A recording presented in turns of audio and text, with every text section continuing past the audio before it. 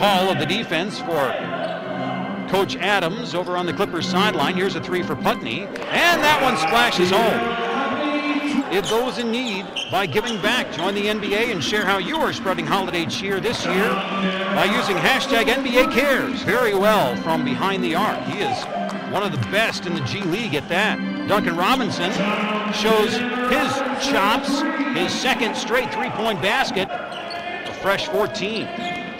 Maten gets it back off the pass inside by Robinson. Score it as Yante Maten dribbles, spins, still handling, fading away the lefty from the free throw line and the elbow no good. And here comes Rodney Purvis, two hands, leaks out in front of the defense. Bennett has been just exquisite from behind the three-point arc recently. Here's a three for Duncan Robinson, and he finds the mark.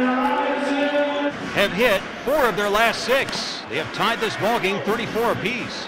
Maten with the off-balance jumper trying to draw contact. Teams heating up, especially the Clippers. They're up to 45%. Here's Robinson for three, and that one finds the range.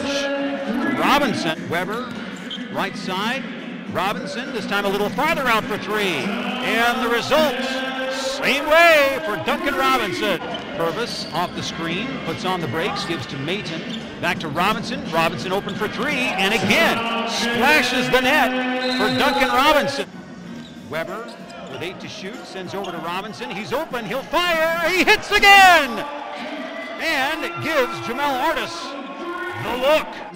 Maten, Robinson.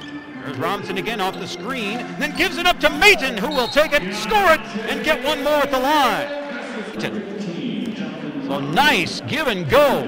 Hard straight line dive to the basket for Yante Maten. This is the shot, and LeConte sends it right to Paolo. And then Weber up ahead. Duncan Robinson, two hands.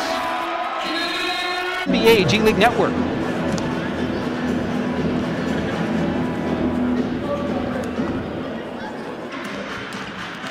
And it's a three-point game, one possession.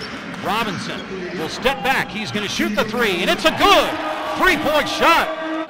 Paolo, he will take a good shot if he can. Instead, we'll take it through the lane. Duncan Robinson, and he hits the three off balance with Fields in his face. Skyforce have a couple games this weekend and then Iowa next Monday for the showcase. Here's a three for Duncan Robinson. It's good! Duncan Robinson with 32, fading out of bounds to his right.